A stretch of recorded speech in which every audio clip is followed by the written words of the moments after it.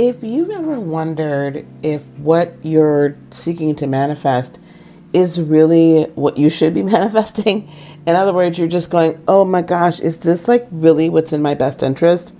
Is this honestly what's going to help me the most? Is this honestly like the next step for me? And I'm not sure if it's of my highest good. Boy, I've been there. I get that. So you're going to want to watch this video to the very end because I'm going to give you just about three tips, I think. We'll just do three today on how to like really navigate that process. My name is Dr. Lisa Brewer, and I am a doctor of metaphysics and divinity. What does that mean? That means I cannot write your prescription, but you know what? I can recommend a real good crystal. So, we're going to talk about how to do these kind of like self evaluations, these self tests, just to see if this is of your highest good. Now, first of all, I want you to know one thing, and this is like so important. You do actually have intuition all of us have an intuition. Like it's just ingrained in us. There's some of us who our intuition might be a little bit heightened than others, but all of us possess it. And it's just like um, a muscle. If you don't exercise it, it's not going to work, right? Like you got to strengthen it. You have to acknowledge it. You got to say, oh, yeah, that's true. The other thing is your body, your the cells in your being. Remember, we're all energy, right? All of us, all of us, all the time. We are energy at our base core. Even solid things are energy. So your body is actually one of the best truth tellers or lie detector tests that you could ever use. Pretty amazing, isn't it? Your body is a lie detector or a truth detector. Okay? So, there's various ways we can utilize our body to be a truth detector. Okay? First way, I know this is going to sound crazy, but listen. If you stand up, okay, just stand up and then just kind of be relaxed. And then you allow yourself to ask yourself some questions. Once you're relaxed, I want you to ask yourself some questions or make yourself make a statement. Okay? So, say, um, my name is, and then say your name. And just let your body kind of sway. It might sway backwards, forwards, it might sway side to side most of us, we sway backwards and forwards. So say about three to four true statements and just let your body kind of do what it naturally does.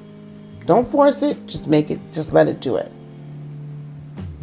And then say three false statements. Let your body do what it does. Now, I sway forward for true statements and backward for false statements. So I want you to do that. And then I want you to mix it up. Okay? one true, one false, one until you just know this is how my body reacts. And then you know what I want you to do? I want you to say XYZ, whatever it is you're manifesting, is of my highest good, and see what happens. You could even try the I believe that I am X, Y, and Z. And if your body, whatever it is you're manifesting, and if your body sways however it's negatively, then you don't have the belief system yet for it, right? But this is a really easy way to be able to tell whether or not something is of your highest good, right? Um, also, just like even small things. Let's do the next thing. Another thing you can do is kind of like just do like this, kind of, and see what kind of energy you get. So, when I say my name is Dr. Lisa, I get one, I touch these fingers, I get one like feeling, sensation. If I'm holding my fingers still just like this and I say, the sky is red, my fingers actually kind of heat up a little bit. There's really no reaction from doing this and so do that. See if you get any like reference from that. Okay, see if you get anything from that uh, as well. That's another truth detector. Sometimes I, I'll use that or the swaying technique or this last technique if before I make a decision, okay, before I make a decision on whether or not I'm going to be a part of a conference or part of a summit. Does this make sense? If this is making sense, leave me some comments below. Let me know if this series is helping you. Let me know how far along you've come. Let me know if you ever feel like, I'm not sure if this is the right thing to do. Leave me some comments. Let's start the conversation. Okay, anyway, the last thing that I do, literally, is when I think about a thing, I kind of sit and I get still. And I'll think about something. Maybe sometimes I'll write it down even that I'm about to do this, or that I want to do this, or that this is what I'm manifesting, or I'm about to take a step along the manifestation process. And if I get an icky feeling right here, I start to identify why. I follow peace. I follow the peace. Because when my being is in an upset state, a state of upset, a state of of dis-ease, right? Not that I have a disease, but that I'm not at ease.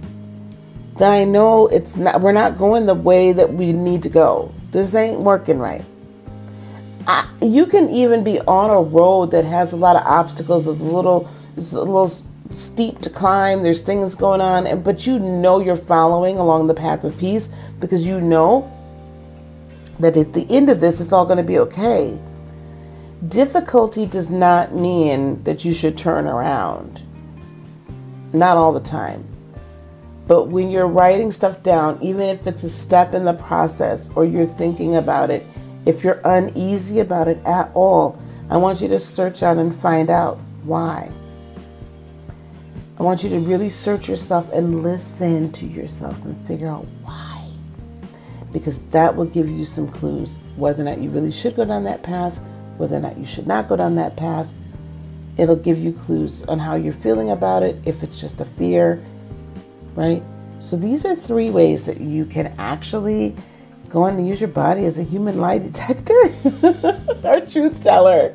All right. Well, I hope this has helped you. Please don't forget to like, subscribe, share, follow all the good things, right? And I'll talk to you soon. Peace, love, blessings, and joy be unto you today, tomorrow, and for all eternity. I love you guys so much. Namaste. And never forget, give permission to your purpose to provide for your person. Thanks so much. I'll talk to you. Bye.